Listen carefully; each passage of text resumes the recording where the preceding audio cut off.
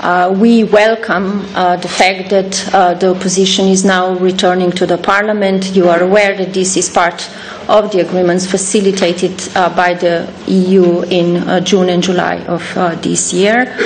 it's very important that this agreement is implemented, and we are now looking forward for the Parliament to work on the reform priorities in the interest of the whole country. On the issue of the special prosecutor, work on this is also ongoing. It's still ongoing, and we expect uh, that the parties uh, will keep and implement uh, all uh, of the commitments. Uh, uh, the Commission, more specifically Commissioner Hahn, is following this very closely, and we expect progress in this field as well.